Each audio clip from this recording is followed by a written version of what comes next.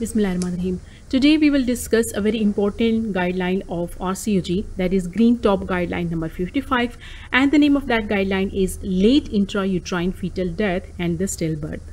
The first question which is asked in this guideline is what is the optimal method for diagnosing late intrauterine fetal demise? And the answer is first of all auscultation and cardiotocography. But the guideline says that the auscultation and cardiotocography should not be used to investigate suspected IUFD. We have to use the other modalities like real-time ultrasonography, which is essential for accurate diagnosis of IUFD. Ideally, real-time ultrasonography should be available at all the times. There is importance of a second opinion, which should be obtained whenever practically possible.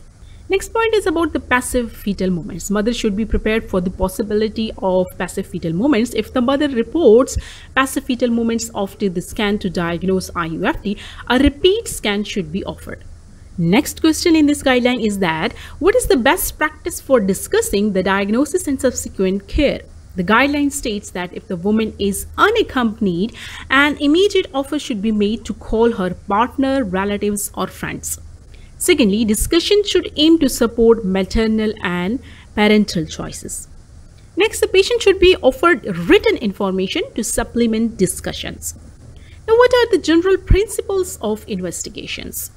First of all, the clinical assessment and laboratory tests should be recommended to assess the maternal well-being, including the coagulopathy, and to determine the cause of death the chances of recurrence and possible means of avoiding further pregnancy complications. This second point is that the parents should be advised that no specific cause is found in almost half of the stillbirths. Third point is that the parents should be advised that when a cause is found, it can crucially influence care in the future pregnancy. Another point, point is that carers should be aware that an abnormal test results is not necessarily related to IUFD. Correlation between blood test and postpartum examination should be sought. Further testing might be indicated following the results of the postpartum examination, postmortem examination. And system that use the customized uh, weight charts and capture multiple contributing factors should be used to categorize the late IUFDs. Next question in this guideline is that are there any special recommendations for the women with an IUFD who are rhesus D negative? First of all, women who are RHD negative should be advised to have Kleihauer test undertaken urgently to detect the large fetal-maternal hemorrhage that might have occurred a few days earlier. Next, anti-RHD gamma globulin should be administered as soon as possible after presentation. Next point is that if there has been a, a large fetal-maternal hemorrhage, the dose of anti-D RHD gamma globulin should be adjusted uh, upward and the Kleihauer test should be repeated at 48 hours to ensure that fetal red cells have cleared. Next point is that if it is important to know the fetal um, or the baby blood group, if no blood sample can be obtained from the baby or cord, RHD typing should be undertaken using free cell DNA from the maternal blood taken shortly after the birth. Now, what test should be recommended to identify the cause of late IUFD? Tests should be directed to identify scientifically proven causes of late IUFD. Now, let us talk about the tests recommended in IUFD. First is that of maternal standard hematology and biochemistry, including CRPs and bile salts. Next, the platelet count is done to check for the occult DIC and that is repeated twice weekly. Next test is maternal coagulation time and plasma fibrinogen. These are done for the diagnosis of DIC although these are not the cause not the test for the cause of late IUFD but for the maternal sepsis placental abruption and preeclampsia which increase the chance of DIC these tests are done especially important if woman desires regional anesthesia next test is that of the Kleihauer test which is done to diagnose the lethal fetal-maternal hemorrhage and to decide the level of requirement for anti-RHD gamma globulin. Fetal-maternal hemorrhage is the cause of IUFD and Kleihauer should be recommended for all the women, not simply those who are RHD negative ensure the laboratory aware a woman is RHD positive and tests should be undertaken before birth as the red cell might clear quickly from the maternal circulation.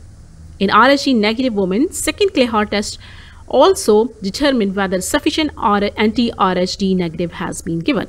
The other tests include blood culture, midstream urine, vaginal swabs and the cervical swabs. And the reasons for doing these tests are suspected maternal bacterial infection, including Listeria monocytogenes and chlamydia species.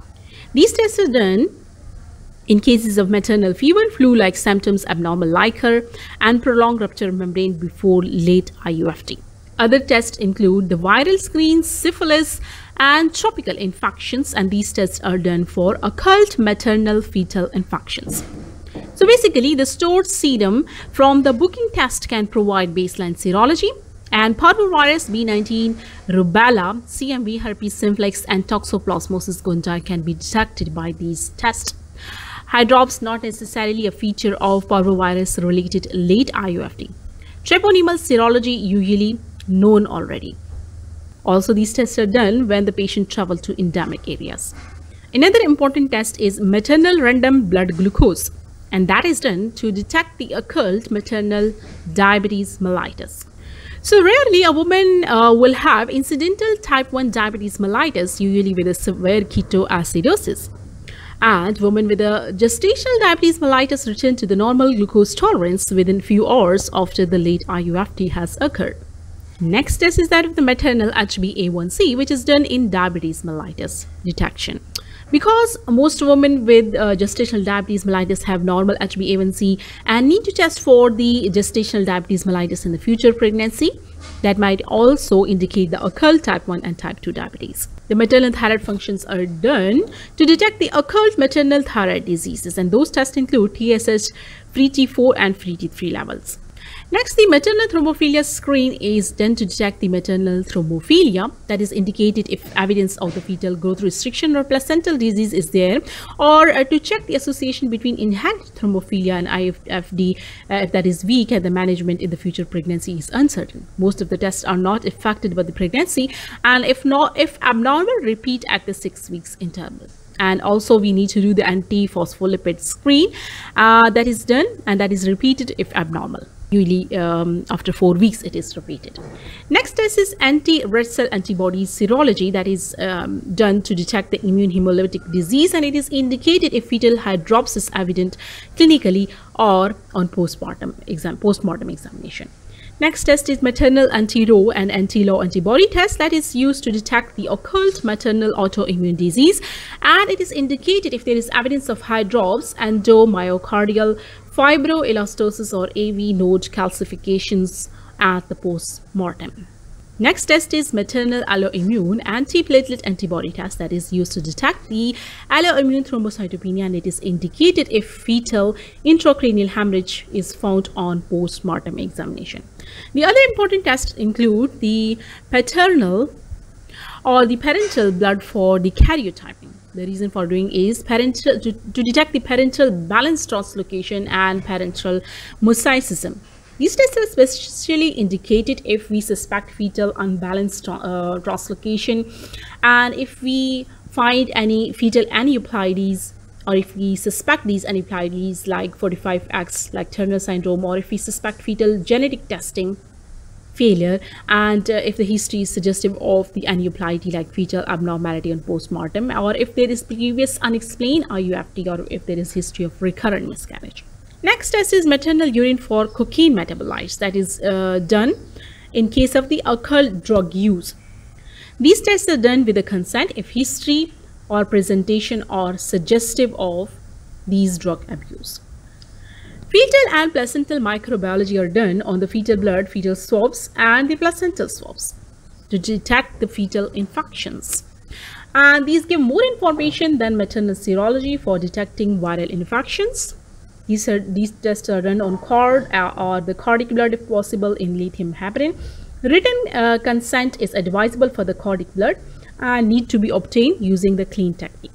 Next tests include the fetal and placental tissues for the karyotype and possible single gene testing like deep uh, fetal skin, fetal cartilage and placenta. and these tests are done for detecting the aneuploidy and single gene disorders. These tests are absolutely contraindicated if parents do not wish. Written consent is essential and send several specimen cell culture might fail. Culture bottle must be uh, kept in the labor ward and genetic material should be stored. Postmortem examination is done externally or in a uh, autopsy or while doing the microscopy or while doing the x-ray examination and it is done on the placenta and cord and definitely the written consent is essential in such case as well. Now another question in this guideline is that what precautions should be taken when sexing the baby? First of all, the parent should be advised before the birth about the potential difficulty in sexing their baby when appropriate. Secondly, two experienced healthcare practitioners like midwives of obstetricians, neonatologists or pathologists should inspect the baby while examining the external genitalia of extremely preterm and severely macerated or grossly hydropic infants. And if there is any difficulty or doubt, rapid karyotype should be offered using the quantitative fluorescence PCR or the fluorescence in situ hybridization. Now, what is the best practice guidance for the cytogenetic analysis of the baby? First of all, written consent should be taken for any fetal sample used for karyotyping. Secondly, samples from the multiple tissues should be used to increase the chance of the culture. Thirdly, more than one cytogenetic technique should be available to maximize the chance of informative results. Fourthly, the culture fluid should be stored in refrigerator and thawed thoroughly before use. Next comes the labor and birth. What are the recommendations for timing and the mood of the birth? First of all, recommendations about the labor and birth should be taken into account the mother's preferences as well as her medical condition and previous intrapartum history. Secondly, women should be strongly advised to take immediately immediate steps toward the delivery if there is sepsis, preeclampsia, placental abruption or membrane rupture, but a more flexible approach can be discussed if these factors are not present.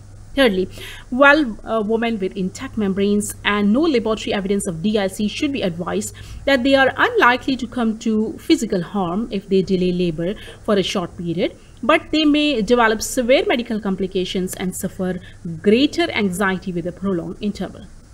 Women who delay labor for a period longer than 48 hours should be advised to have testing for DIC twice weekly. So I have discussed uh, very important points from uh, this RCOG guideline. The next important points are about the clinical governance which you can study from the full RCOG guideline. I would like to complete my presentation with this quote. There is no shortcut for hard work that leads to effectiveness. You must stay disciplined because most of the work is behind the scenes. So thank you so much. Wish you all the best. Allah Hafiz.